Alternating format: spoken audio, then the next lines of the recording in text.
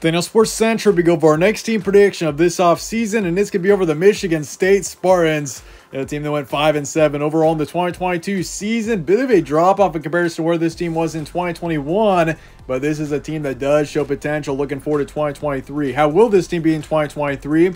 And will this team return to contention this upcoming season? We'll be talking about it here today. We'll be analyzing this team and predict their schedule game by game in this video. Let's get started with a quick recap of 2022. Once again, the record was 5 and 7. Kind of a bumpy start to the season for this team. Of course, coming off of an incredible 2021 season. The expectations were definitely higher for this team. So that definitely makes 5 and 7 look a bit more disappointing. But I mean, this wasn't a bad team last season. They beat Western Michigan week 1 35 to 13, took care of Akron no problem, 52 to nothing, and then went to Seattle, take on Washington, took a loss here 39 to 28. But Washington turned out to be a great team last year, and honestly, uh, they could be even better in 2023. I really would not be surprised. And uh, you do take on the Huskies once again this season. This time you got them at home. Uh, so you got a chance for a really nice win there against a solid Washington team. But uh, this was a disappointing loss here last season. And then he took on Minnesota. This was one of those confusing losses. Lost to Minnesota 34 to 7 at home.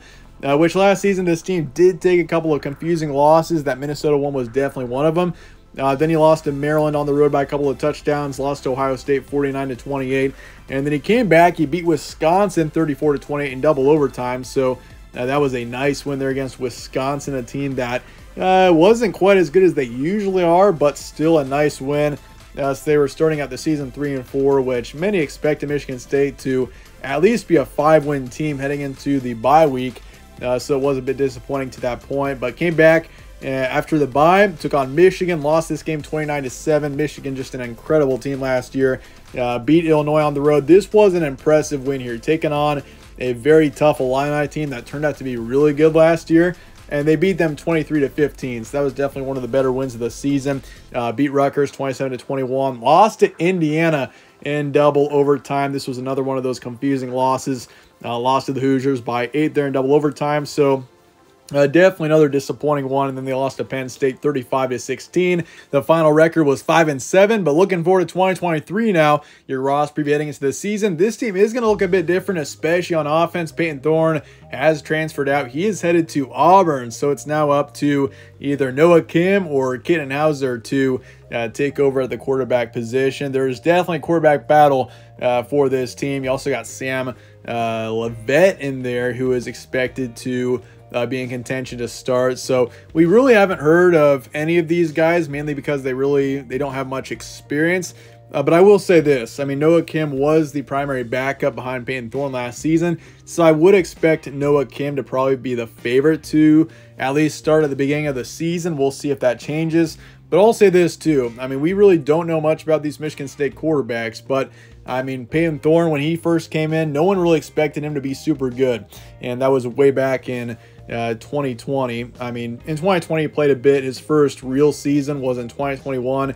And I mean, he really didn't have super high expectations, but he turned out to be a great quarterback in 2021. 2022 also was great. Uh, so I mean, honestly, I do have optimism for this quarterback situation. I think he'll be okay, uh, whether that's Noah Kim or Houser or whoever it is going to be in the quarterback position. Uh, as far as the backfield is concerned, Jalen Berger's coming back, who was pretty good last year. Uh, not quite on the same level as uh, Kenneth Walker III, who was incredible in 2021. I do think that was significant losing him. I mean, this offense just was not the same in 2022. But Jalen Berger is a good back. He put up over 800 yards uh, six touchdowns last season. We'll see if he can progress. Looking forward to 2023. You do lose your second and third running backs, though. Elijah Collins and Jarek Broussard, both of them are gone. Uh, but at least it's good. You still got Jalen Berger coming back. Uh, the receiving core, you lose Keon Coleman, Jayden Reed, both of them are gone, which is a bit concerning. Uh, you're going to have a bit of a more inexperienced receiving core looking forward to 2023. Uh, Keon Coleman over or nearly 800 yards last season, seven touchdowns, and Jayden Reed not far behind, 650 yards or so, five touchdowns. Uh, so both of them are gone, but at least you got Tre Mosley coming back.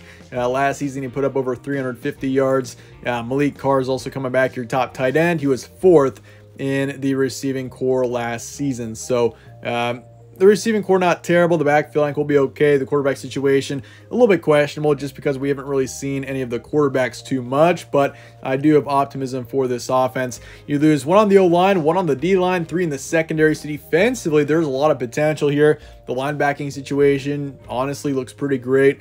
I mean, there's a lot of potential defensively for this team. I do think this team will step up defensively. It's just the offense that's going to be a bit questionable. If this offense can play well, I mean, this could be a really solid team next season because I'm pretty confident the defense will progress. There's plenty more experience defensively than there was in 2022. So, yeah, that is definitely a bright sign looking forward to the future. But your transfer portal and recruiting now. So, Payton Thorne mentioned him, obviously, off to Auburn. Uh, Hampton Fay is in the transfer portal as well, quarterback who uh, really didn't have much of a chance of starting anyway, so that's okay. Uh, Nathan Carter, running back, he is coming in from UConn. You also got Jaren Mangham coming in uh, from South Florida. So honestly, this backfield, you do have some potential there with Carter and Mangham. I expect them to kind of take over the roles of Elijah Collins and Jarek Broussard.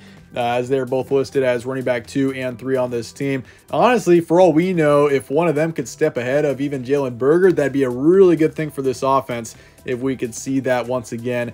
Uh, Keon Coleman, receiver, he is off to Florida State. Germie Bernard is off to Washington. You bring in Alante Brown, receiver from Nebraska. He's listed as a wide receiver too. Uh, could get some playing time. Then, of course, you uh, bring in Tyneil Hopper, tight end from Boise State. Uh, he's listed right behind Maliq Carr on the depth chart.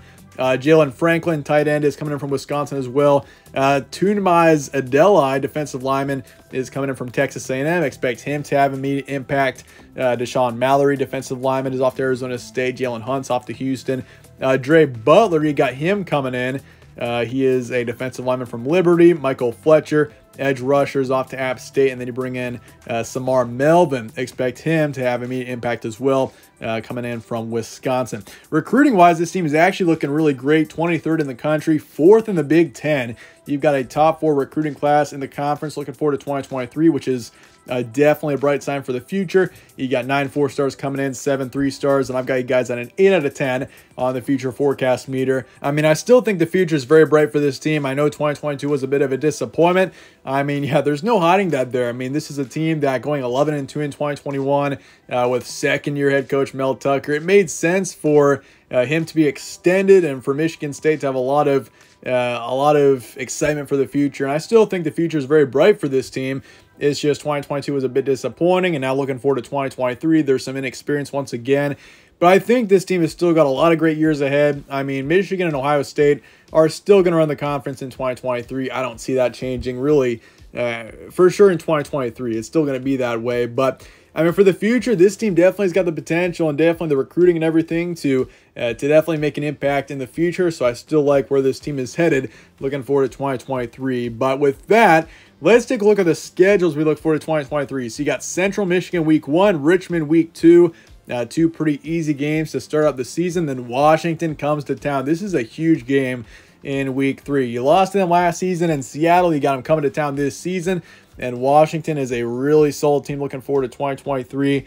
Uh, they've got a familiar quarterback as well, Michael Penix, who had an incredible season in 2022, uh, formerly an Indiana player, the Indiana quarterback. So that's definitely a uh, a storyline to keep in mind as well. And then you got Maryland at home. So you're at home for your first four games. Then you go to Iowa and then to Rutgers. And then you come back, play Michigan at home. That's going to be a tough one. And then Minnesota on the road, Nebraska at home to start out November, Ohio State on the road, Indiana on the road, and then Penn State at home. Or actually, no, that's going to be at Ford Field now. The location for that game has changed. It looks like that's going to be a night game there on Black Friday in Detroit at Ford Field. So I mean, it's definitely a difficult schedule at times. There's no hiding that. And it also doesn't help that uh, Washington could be a top 15 team next season and you got them at home, but uh, still a difficult matchup. But looking at September here, Central Michigan, Richmond, both easy wins. You take care of them, no problem. You should start the season 2 0 uh, without any issues, I would imagine. And then Washington, this is going to be a tough matchup here. This is going to be a big test for this team uh, taking on a, a, Washington team that I could see being a potential dark horse national contender in 2023. I mean, the Pac 12 is filled with excellent teams. And Michael Penix in Washington, that offense is going to be incredible in 2023. The defense, if the defense can be good, that is really a team to keep an eye on. Uh, but offensively, they're going to be brutal. I do think they beat Michigan State, even though the Spartans do have the potential to win that matchup, especially with this defense. I'm expecting it to improve, but I do want to mark you down for a loss there. I just think Washington is too solid of a team and the inexperience offensively does come back to bite a bit there for the Spartans. But you come back, you beat Maryland. This would be an excellent win here. Uh, Maryland next season, I could see eight to nine wins or so. That's going to be a solid team. So you get a nice win against Maryland uh, there in late September, and then you take on Iowa on the road. I do think you lose this one too. The Big Ten West, it's going to come down to two teams, and those two teams are Iowa and Wisconsin in 2023. I do think Iowa's got a really good chance to uh, to make some noise in the Big Ten. They could be a contender next season. I do think uh, Cade McNamara, that's a team that should be very improved and defensively they should be solid. So I'm going to take Iowa there in a close one. Then Rutgers on the road. I do think you beat them pretty easily. Uh, don't expect them to be too good. And then Michigan, I mean, you got them at home, so you got a chance maybe pull a massive upset here. But Michigan next season is going to be a powerhouse. That is a team that is going to be very experienced. Um, and they've got all the potential in the world to win a national championship. Uh, we'll see if they can just get past the college football playoff semifinals and if they can even get there. I mean, it's it's tough enough to get there. So Michigan State's got a chance to pull off an upset of of the decade there if they can beat Michigan. Uh, but I do want to take the Wolverines there in the end. And then Minnesota on the road. You lost to Minnesota last season in a disappointing loss. I do think you lose this season too. I do think it's a winnable game.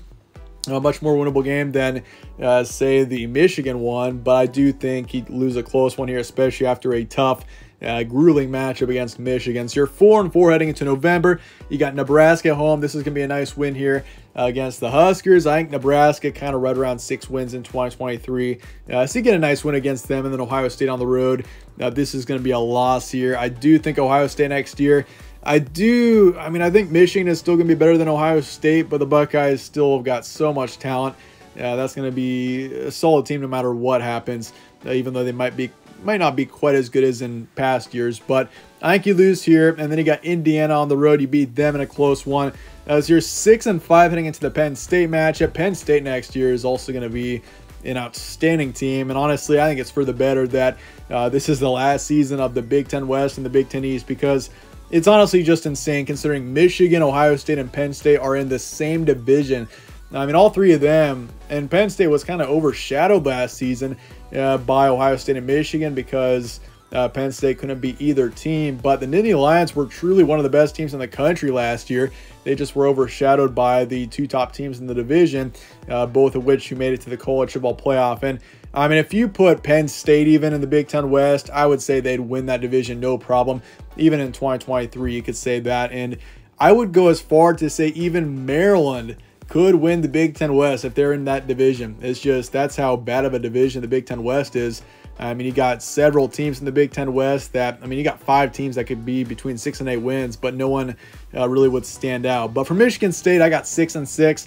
I think six and six would be a pretty good record considering the brutal schedule that this team does have. I mean, there is potential here for sure for this team to get up to nine. I've got nine and three for the ceiling, four and eight for the floor. Uh, I do think the range is pretty wide for this team. I mean, they could disappoint again. Uh, and they could also break through again. No one really expected Michigan State to be an 11 win team in 2021, so this team definitely could surprise once again in 2023. But for now, I've got this team at seven and or at six and six for the prediction. Honestly, seven and five is very much uh, within reason as well. Uh, but I do have this team taking a couple of tough, close losses. But it's definitely an interesting team. Let me know your thoughts in the comments below on Michigan State, and I appreciate you guys all watching as always. Stay tuned for more from All Sports Central. Catch you on the next one.